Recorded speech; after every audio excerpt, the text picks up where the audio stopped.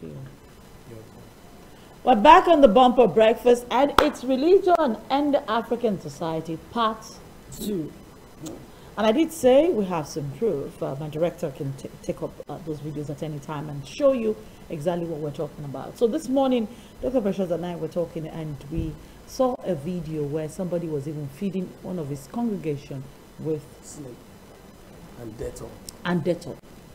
I mean, disinfectant. Let's not advertise for Dettol. Disinfectant. Already done it. Um, disinfectant was pouring it into the mouth. What exactly was that supposed to do? He The said, movie he, was was, he said he was trying to show them that they have overcome the power of death. You know, So he was killing them. the gullibility of our people Hmm. uh, cannot be overemphasized. You know, that's why we need to talk about this. And I'm not just going to be talking about this, I'm going to be telling us the way forward because there's always a solution to everything. Mm-hmm. The solution to Africa and our religious mentality. You see, like we said last week, a lot of religious personnel do not care about shepherding, do not care about Mentoring. grounding, discipling, and releasing the flock. All they care about is how to control, manipulate, and play their selfish games. And over time, we have discovered it. How do you explain a man of God saying a woman should remove her panties so that the Holy Spirit can enter and impregnate her? We have the video, the footage there. And all these things are traceable to the fact, even the Bible says, My people are destroyed for lack of knowledge.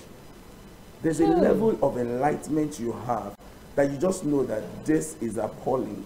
And it's is not- absurd. this is not biblical. This is not logical. This is not godly. But people do it. People allow it. People succumb to it. because they don't know. And you see, Tomisi, um, I'm going to be stating the following points for you to understand how deep religiosity has taken us. Number one, religion justifies political control.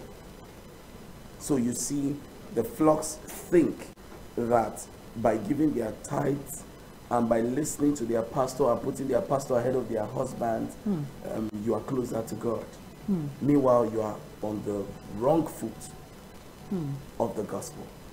Number two, religion breeds slavery these days. You see the man of God coming out and everyone is on their knees. You know when when when they came, when the whites came to colonize us, there were three C's: civilize, Christianize, commercialize. They came to colonize, but they had that agenda. They wanted to civilize us, show us mirror, we like it. You want the mirror? Give us your cash crops. Give us your your brothers. Mm. Give us slaves. We'll give you these things.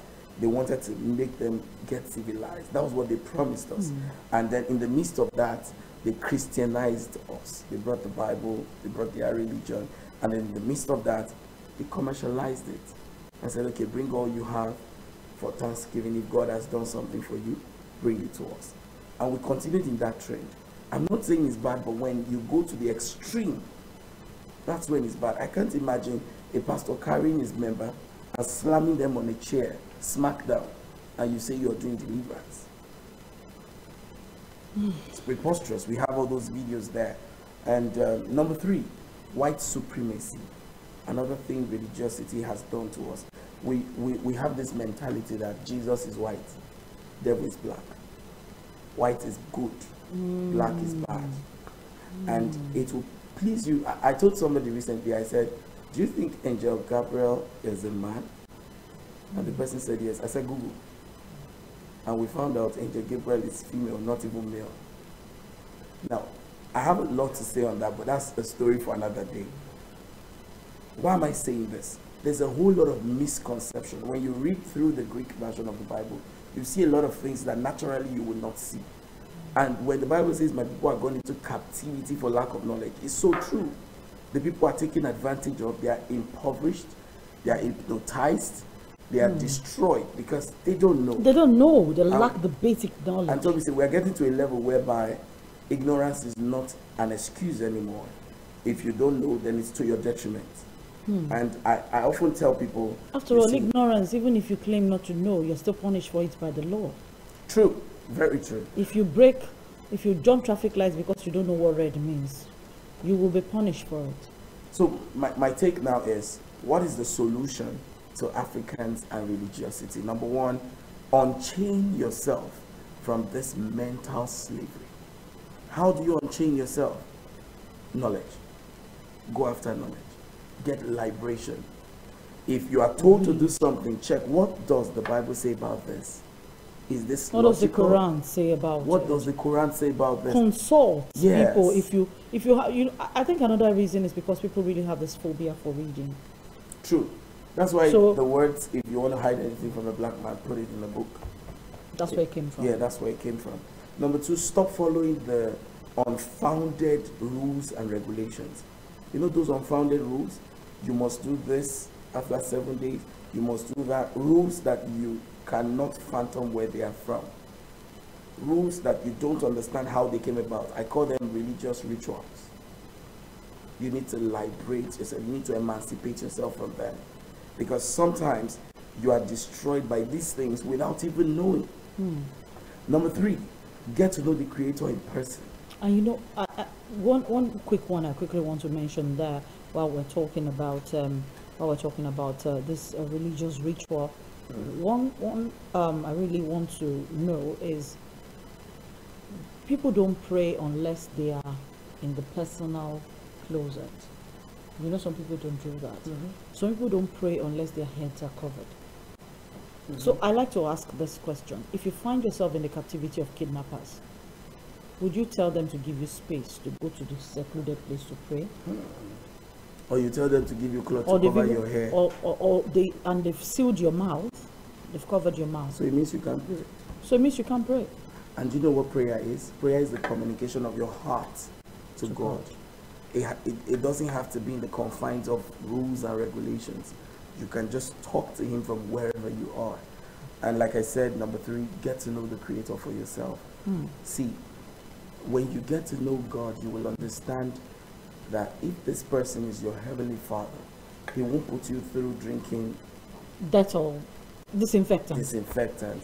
And then Did you know what happened during the COVID 19 pandemic um, uh, lockdown in the US when they were talking about um, disinfectant and a lot of Americans were drinking it True. in Foley? Yeah, I remember. You remember? Yeah, they thought it was a when when the, you know their f- former president just joked with it like um, if it's that's what they would use and all that you know it was just like a joke You know, and people started drinking it Donald, Donald is a very interesting man. You know what he did with the hydroxychloroquine? Mm-hmm. And immediately started talking about hydroxychloroquine. People started buying people it. started buying it people started taking it without Even being as- sick Even as far as Nigeria, people in Nigeria started, Yes, started- stocking their houses with hydroxychloroquine with chloroquine. Hmm. Uh, number four, be spiritually centered within and not religiosity, religiosity centered without. explain that Hmm. break it down spirituality is more of yourself, not what people should see. You know, when you get to a point where you are thinking, my spirituality is hmm. what people should approve of, is what people should see, is what people should identify, mm-hmm. then you have missed it. Your hmm. spiritual walk with God is personal. It's not, it's not something that should be on billboards. If you go through Matthew 6, you will understand everything about this. Hmm. So it's really important we get to a point where we are more spiritual than religious. Religious people do things for people to see. Spiritual people do them with their hearts. Hmm. So you see a spiritual person, he wants to pray in his closet. You see a religious person, hmm. he wants to speak in tongues for people to hear he can speak he in can tongues. speak in tongues he wants to display speaking in tongues He wants to display his hmm. religiosity uh, mechanism. Hmm. He wants to show that his tongues are important. You get? He wants to show the tones. And you know those prayer warriors in churches?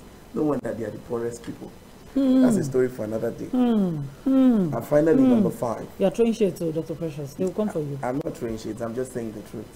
And um, it's, it's okay, look at that. Look at what we have on the screen. mm. spray Yeah. Just look at that.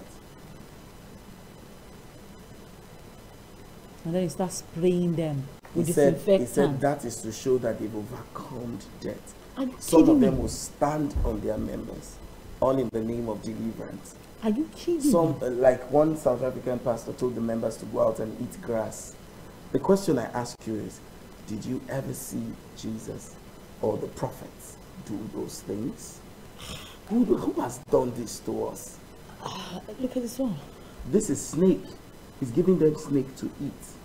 Are you sure that's not a pedal or something? That's a snake. I watched the video.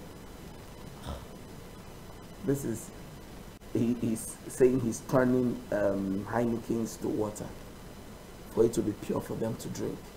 And then Oh. there's another one who was publicly fornicating, kissing two women in front of his church. You know, there are things we see these days that we just go back and think. But who take on those? Tommy, I ask, I, I say some things. If if God does not visit this generation, He will have to apologize to Sodom and Gomorrah, because the kind of things we see these days, you see so-called prophets sleeping with people's wives, all in the name of deliverance. Oh, if I do this for you, you'll be delivered, and we really need Well, God. it- this then, time. then the, are oh, look at this one. Are you kidding me right yeah, now? he's sitting on them. I, I told you that's Bor, South Africa. He's sitting on his members. Yes, for deliverance. And when they wake up, they won't know what has happened. They are clueless of what has happened. That's the that's the height of impotisation, the height of magic. And he calls this religion. Deliverance is a pastor. That's why we need to draw the line. You see, the Holy Book says, "By their fruits you shall know them." So you get to a level where you see these things, and then you understand that a lot is going wrong. And that's why I want to say this to me saying conclusively: Give a man fish, and you'll feed him for a day. Teach him how to fish, and you'll feed him for a lifetime. But empower a man to own a lake, and you'll feed him for generations to come. We need to start empowering ourselves with the truth. We need to start empowering ourselves with knowledge. When you get out there, you'll see that it's not this hard. You know, in Africa, when we want to pray, hey God, we pray with power. We pray with voraciousness. You know, it, it, it took me going to a place where you don't even speak out your prayer Mm-hmm. to understand that it doesn't have to be like that. Even As we were entering, the man asked question, You're Nigerians, we don't make noise here. I swear. That's in People Israel, were right? already, yeah, and people were already making, said, And that's "Mm, the home of Christianity. we don't make noise here. He said, Speak in your heart. You see, this And the priest left. You know the interesting part? The priest left us. We were the ones that went to look for him and say, "Come and bless us." The man did not, and this is supposed to be a pastor kissing his members. yes, fornication with his full chest is deliverance. Deliverance. You saw the picture of the other one checking the breast of his members, that the demon is in the breast, so he's trying Ah. to cast it out. Ah, And there's another famous one in Kenya who said um, he sucks demons out of his members' breasts. ah. He was interviewed on um, a radio station. He was called in, and he said that that he sucks out demons From from the breast of his members. We give up. Know God for yourself. Whatever religion you belong to, don't be foolish. Get information. Get leaders. The Bible says, "I'll give you pastors after your Heart that will feed you. That will feed Something will just tell you that this is wrong. I I mean, if There's you don't, if you don't have the, if you don't have the knowledge of the Bible, you should have common sense. God Yeah. actually gave us the intuitiveness to know these things are wrong or correct. A head, like I will always say, a head without sense is a load to the neck. Mm. Some people have heads, but they are not using it, and that's why they can't go ahead. It's a big problem. It's a big problem. You know, when I go through Thank you some for of that those wisdom. videos, I, I feel I feel Appalled. Yeah, it's it's appalling. We need to find a way to deliver ourselves from this menace of religiosity. Unless, if we're going to serve God, whatever religion, as Islam, Christianity, traditional, serve God from your heart. Know God for yourself. Let's not be, I mean, if we're going to be lazy, don't be lazy with your spirituality. Don't be so lazy that, uh, I don't know. We need to go on the bumper breakfast. Dr. Precious, how do you close? I close by saying it's really important we get uh, mental emancipation, get to know more things about what's happening there so we can be aware that the tides and time has changed. Please follow me on social media, Dr. Precious Uwas. Thank you. Uh, my name is Tomi Siljo. You can see me on Instagram at the Golden Tomi or Bokola on Facebook. Of course, you get to watch us again live Monday morning on the Bumper Breakfast. Have a beautiful, beautiful day. Keep safe. COVID 19 is out there and it's killing people. Mm.